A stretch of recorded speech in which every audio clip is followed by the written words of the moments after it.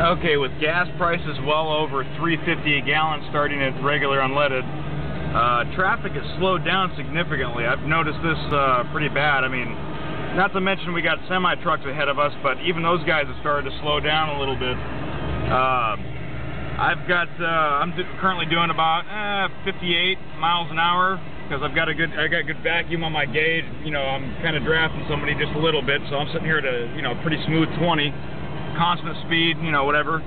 But uh, yeah, I've just noticed a whole lot of people have uh, started to really slow down. They're not, you know, throttle happy as much.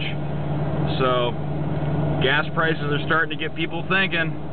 And uh, the fact that uh, on my windows I've uh, I've been rocking my miles per gallon on all my two side windows and my back window, and uh, I've got wheel skirts on there. It's really got people kind of slowing down to look. And then uh, I've noticed people that are hauling ass they'll end up uh, seeing what I got going on here, and then uh, it gets them thinking at least.